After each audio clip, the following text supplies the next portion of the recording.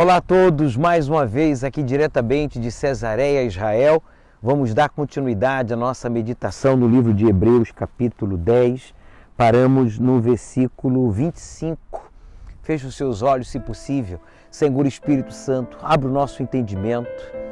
Nesses primeiros dias do ano, nós queremos saber qual é a tua boa, perfeita e agradável vontade. Queremos saber o que o Senhor quer que a gente comece a fazer e parar de fazer aquilo que o Senhor não está se agradando.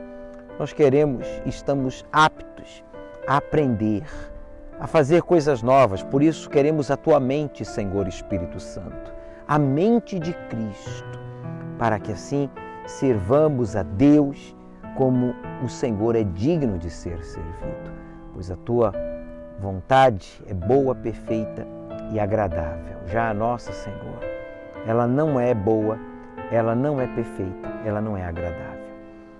Abra o nosso entendimento e fale a todos nós. E você que concorda, diga: fala, Deus, porque eu vou obedecer. Amém. Bem, já paramos, a, concluímos o versículo 25, né?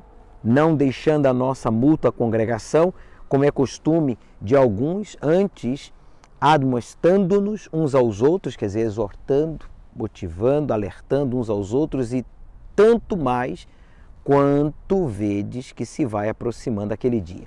Todos somos testemunhas que estamos vivendo os últimos tempos. Jesus está voltando para buscar a sua igreja. E mais do que nunca devemos nos congregar, participar das reuniões né, coletivas, ah, por exemplo, ah, os eventos, as reuniões especiais, os propósitos, tudo isso tem por objetivo dar a você como a minha oportunidade da gente viver a fé, né? exercitar a fé. No versículo 25 ele diz, olha, perdão, versículo 26, porque se pecarmos voluntariamente, depois de termos recebido o conhecimento da verdade, já não resta mais sacrifício pelos pecados. Em outras palavras, nós quando errávamos na idolatria, na desobediência, no orgulho, na promiscuidade, na violência, no egoísmo, né? Quando pecávamos, mas desconhecendo a verdade, havia o sacrifício para interceder por nós. O sacrifício do Senhor Jesus, o Espírito Santo né, para interceder por nós, inclusive os servos de Deus. Mas agora que conhecemos a verdade, quer dizer, se pecarmos voluntariamente, para não dizer descaradamente, você sabe que não pode, né, por exemplo, evitar de participar das reuniões presencialmente. A exemplo do que ele fala no versículo anterior. Você sabe que não deve parar de se congregar, mas você dá desculpas pela distância, o cansaço, né? Ah, e tantas outras coisas, né?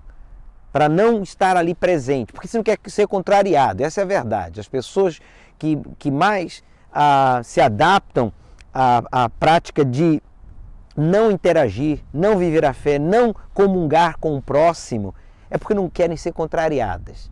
Né? Elas não querem ser contrariadas.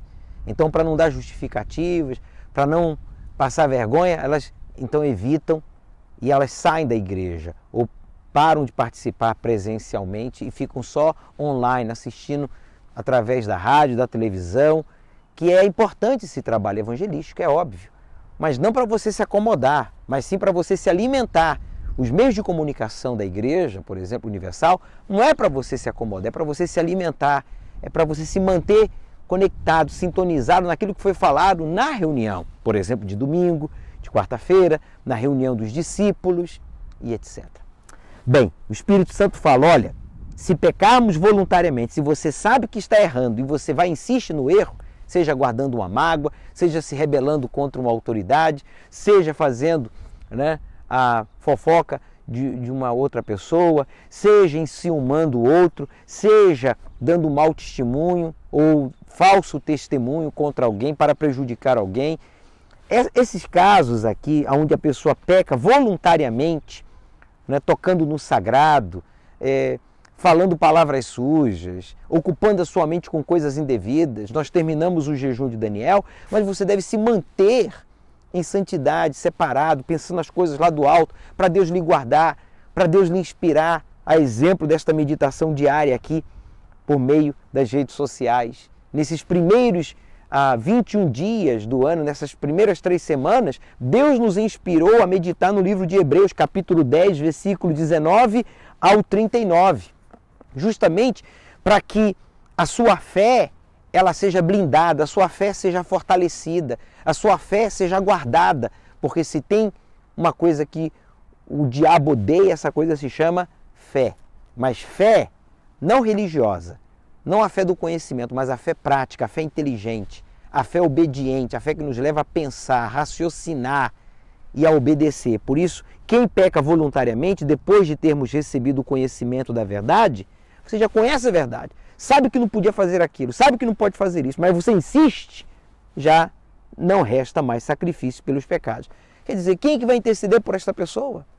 É como se essa pessoa estivesse dizendo assim: Eu não preciso do sacrifício de Jesus. Sim, você eu, nós precisamos do sacrifício dele. E nós devemos valorizá-lo. Uma vez purificados, limpos, nós devemos nos manter limpos e purificados. E se você errar, pecar, que não seja voluntariamente, deliberadamente, que seja de forma inconsciente.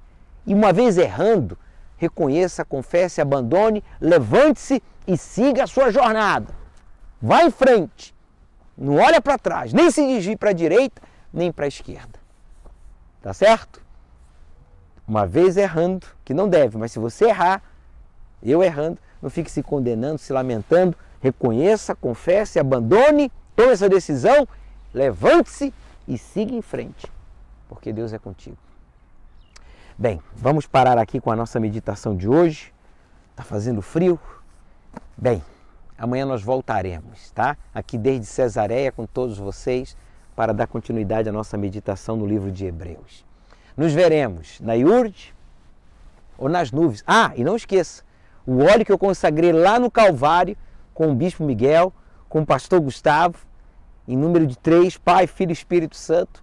Nós vamos estar usando aí no seu estado, aí na sua cidade, aí na sua igreja, neste ano, o óleo do, do está consumado, o azeite, símbolo do Espírito Santo, consumado está vai se cumprir a palavra de Deus, a promessa dele na sua vida.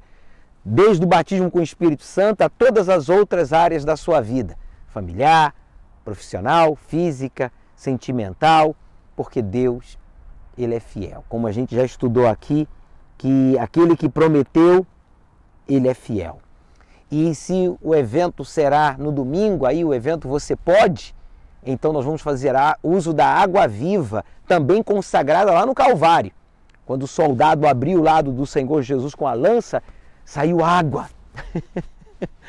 saiu água. E quando aquela água lhe tocou, ele disse: Olha, verdadeiramente esse é o Filho de Deus. Essa água viva vai fazer você ver o Filho de Deus em você. E quem lhe conhecer, vai conhecer a Ele. Tchau!